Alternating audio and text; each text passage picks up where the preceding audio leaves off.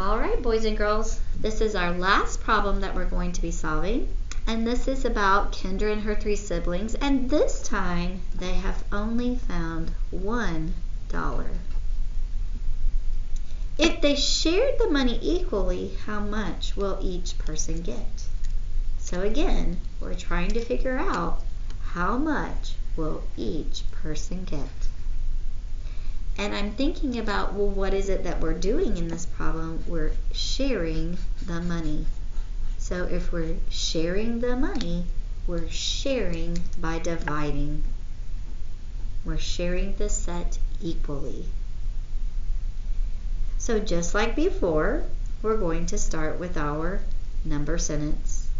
Our number sentence is our total amount being divided by the number of people in our group and that will equal the amount of money that each will get.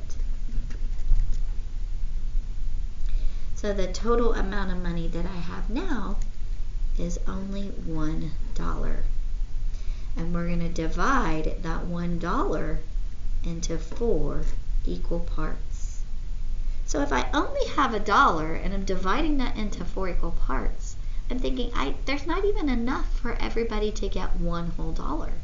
There's not even there's not very much at all to be split. So I'm going to start by drawing my picture. And I'm going to start with my total. My total is one dollar. If this is one dollar and I have to cut it into four equal parts, I have to think to myself, well, what could each part be worth.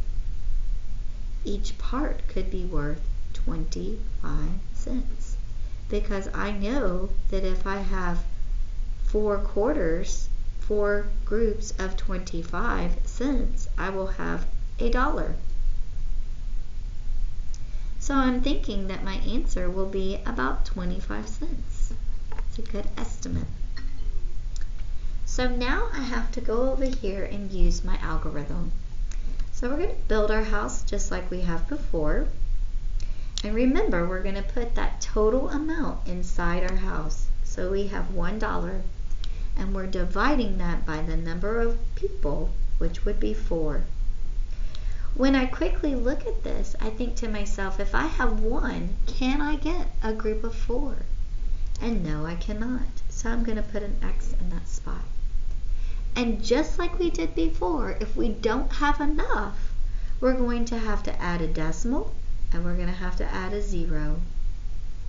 And we pretend like this decimal point is not even here and we're going to divide like normal.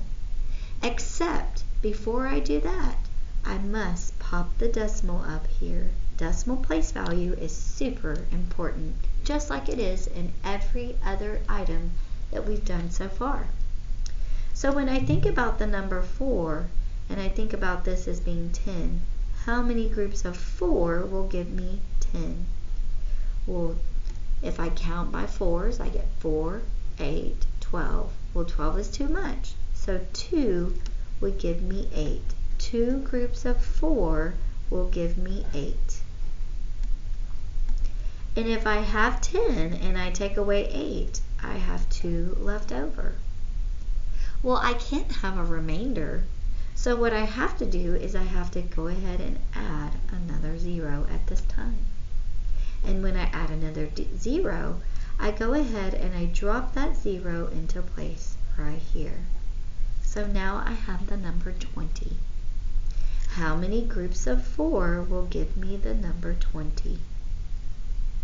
4, 8, 12, 16, 20 that would be five groups.